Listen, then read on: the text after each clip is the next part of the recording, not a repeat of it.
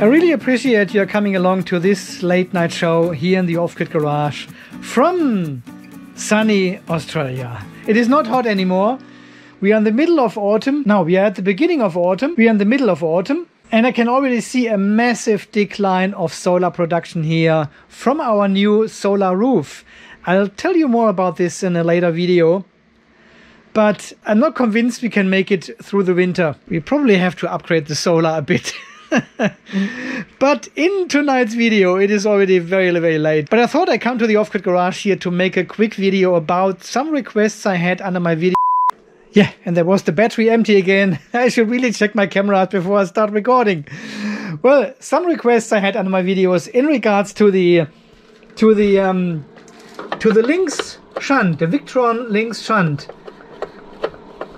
Uh, let me quickly the Victron Lynx shunt. And this is not so much about the technical situation, issues, features of this device. It is more about the settings.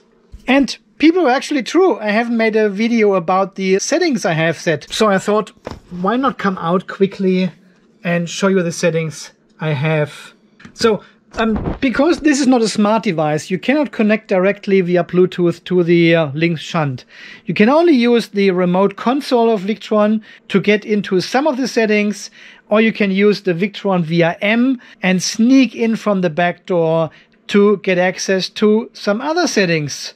And I want to show you how to sneak into the back door of the Lynx shunt first. So you go to your Victron VRM and you select the SPAD calibration center your Cerbo GX or your Raspberry Pi, whatever you have. Now it connects through the internet back to our Servo. We are going to devices and here you can see the Lynx shunt connected to VE-CAN and we connect to it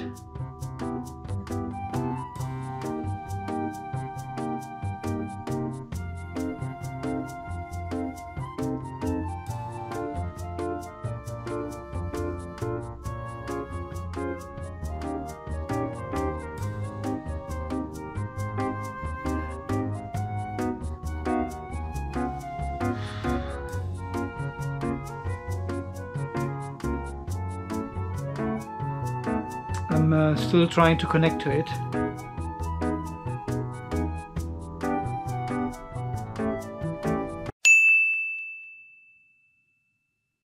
Now it's connected, fully connected. This was like 30, 40 seconds. And most of the time you can see some of the numbers of the Lynx shunt. So today is our lucky day because it shows us almost all of the numbers on the display except the consumed ampere hours. Usually there is one, two, or even three of the numbers missing in your display.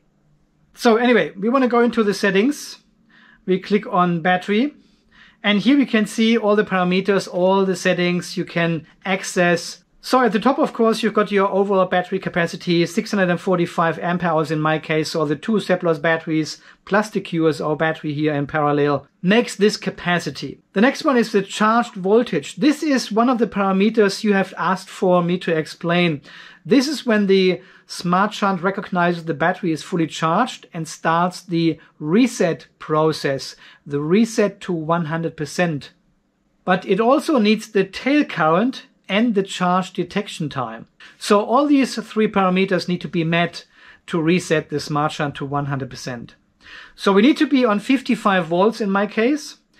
The tail current needs to be under 2%. So 2% would be, 1% would be 6. Point, so 12, so 55 volts under 12.9 amps and this for three minutes. If these three set parameters are met, then it resets to 100%.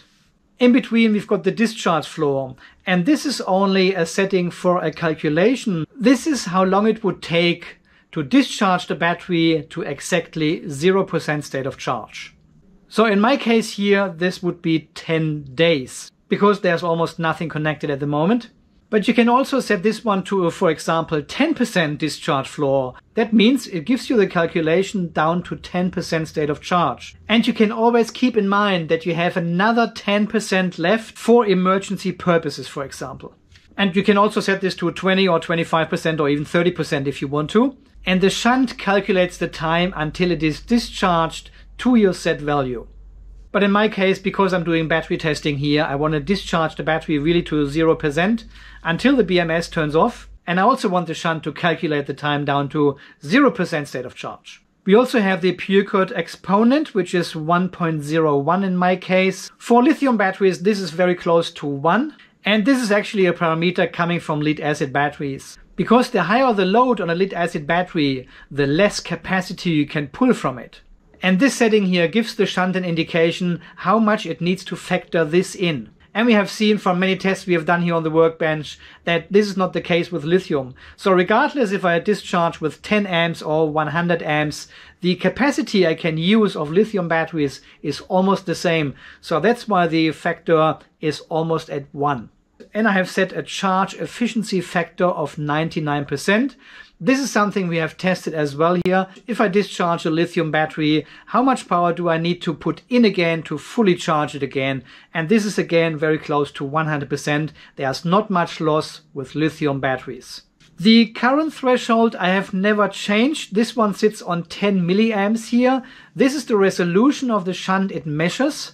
And depending on your setup, so if you have very small loads or very large loads, you can change this parameter to make the shunt more precise. But if you go too small with this number, you're measuring all the noise as well, even there is no real current flowing. And honestly, I've never changed this parameter, neither in the Lynx shunt nor in the Victron Smart shunt. So usually you don't have to change the setting at all, unless you have a lot of very small loads or a lot of very large loads. So again, you can adapt the resolution of your shunt with this setting. The time to go averaging period sits on 3 minutes by default. I've never changed this either, neither in this shunt nor in the other one. Ah, the consumed ampere hours have just arrived. Look at this, we are fully populated. I've never seen this before. so this average time of 3 minutes is what the shunt measures and then uses for calculating your remaining time. So again here, if you have loads with lots of peaks starting motors constantly, you probably want to lower this value a bit so you're actually measuring the peaks as well. While if you set these parameters a bit higher, it actually smoothes out these peaks and is not factoring them in as much to calculate the remaining time of your battery. So I would say for most people you can leave this on 3 minutes because the algorithm in the shunt will adapt the time remaining anyway as you go. Yeah, and then we have uh, state of charge we can actually set manually. This is probably only important at the very first startup of the Lynx shunt, and you can give it a rough figure of your state of charge of your batteries. The same if you power off your Lynx shunt, it will forget the state of charge. So if this happens, you can set a rough figure again. And then with the next full charge, it will recalibrate to 100% anyway, as I have just explained. You can also synchronize the state of charge to 100%. So if your three parameters, the charge voltage, the charge detection time, and the tail current are not triggering your 100%, you can press this button manually and reset the shunt to 100% manually. And the zero current calibration button is if your shunt shows actually a current flowing, even there's nothing connected at all, you can calibrate it here to zero. I have never done this ever with any of my shunts because there's always something going on here in the off-grid garage.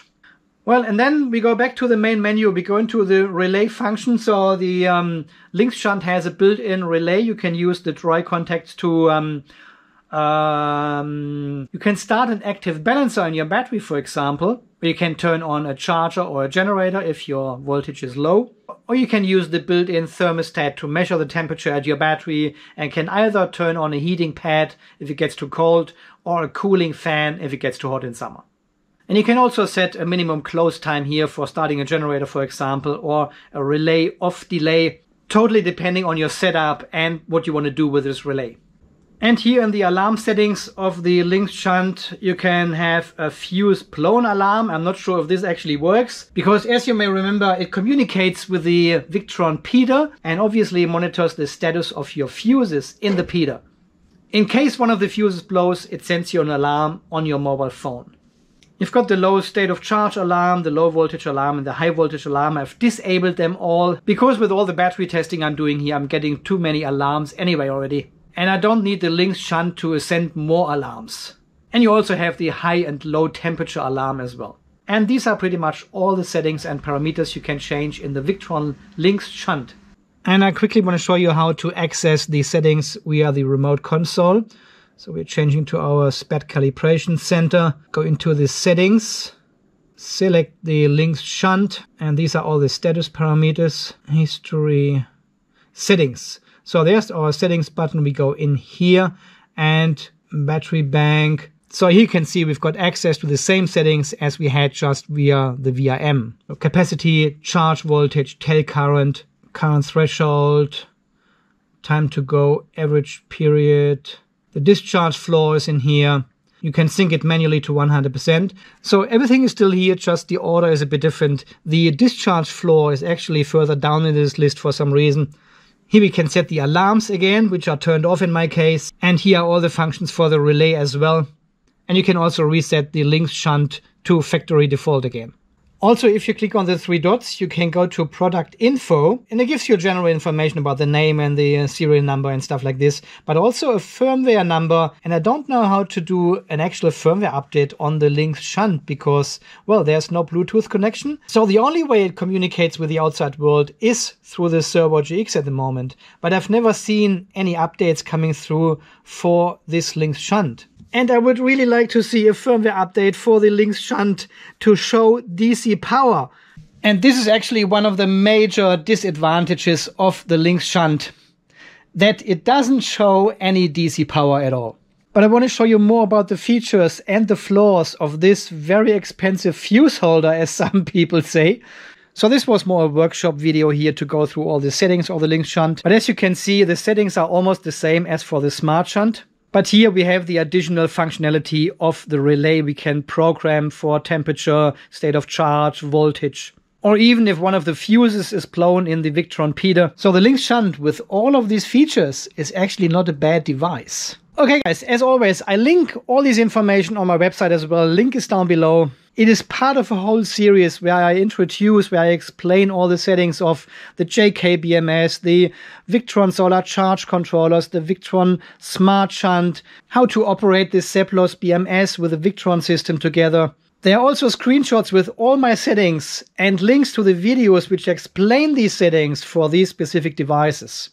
So whenever I change a parameter here, I take a new screenshot and upload this to the websites. So this is very up to date. And over time, we will have a very good collection of settings which actually work and um, also make sense. Okay, guys, I think that's it for this late night show video. Leave your comments down below if you are using the Lynx shunt as well and what your experience with it is. I'm always I'm always very interested to hear from you as well.